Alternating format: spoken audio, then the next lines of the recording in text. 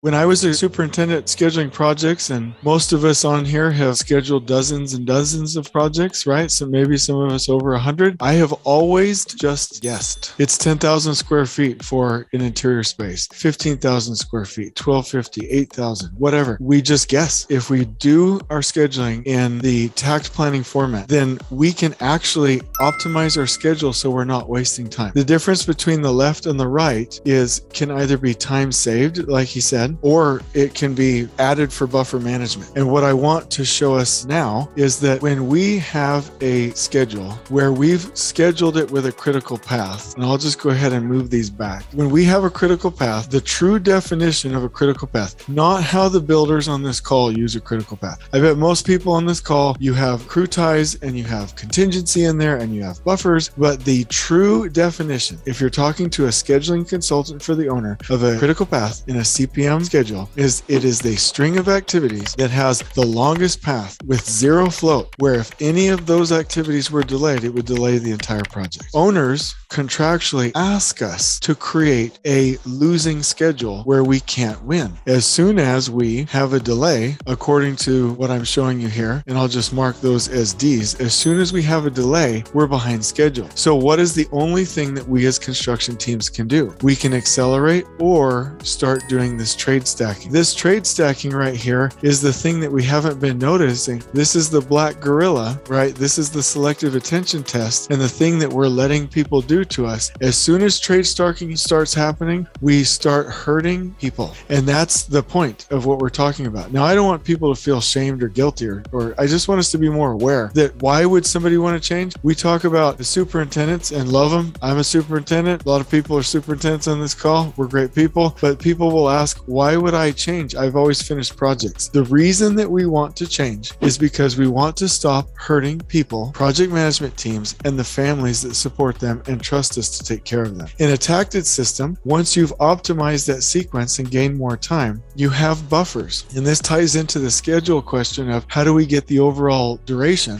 It's either a stipulated duration that we've optimized and we can create buffers within it, or it's a schedule that we've created and we've identified the end date in our proposal, but we have done a risk analysis and we have left the appropriate amount of buffers in the schedule to absorb variation and roadblocks so that if there's a major problem, whether it's a day or a week, and I'm doing this by way of example, and I promise you this is realistic, that when we have a problem, we can move the takt sequence to the right and use a takt time as a buffer to absorb that delay and eat into the buffers that we have gained through the optimization. Now, the reason that we do this is so that we can still finish on time and not crash land the project and remain in trade flow, which is the most important type of flow. So people typically or inevitably ask us, well, if you have a delay here, why not just delay that one sequence? And again, I would say that not only down here in the bottom are there a bunch of interdependencies where it might prevent that, but we also don't want to start doing this trade stacking unless we absolutely are stuck in that position. So when we have a delay, I'm not being fatalistic on this. Most of the time, it is better to just delay the entire sequence together as a system so that it can eat into these buffers and we can still stay on rhythm and not stack trades to hurt each other on top of each other. So, my official answer, and I'm glad you asked it. How do we create the overall duration for a project? The way we do that is we either have a stipulated end date, like most owners give us, and we optimize it to gain these buffers, or we create a schedule and do a risk analysis of each phase, which tells us how many buffers we actually need, we add those and we target the end date after the buffers and we do not plan it with a critical path.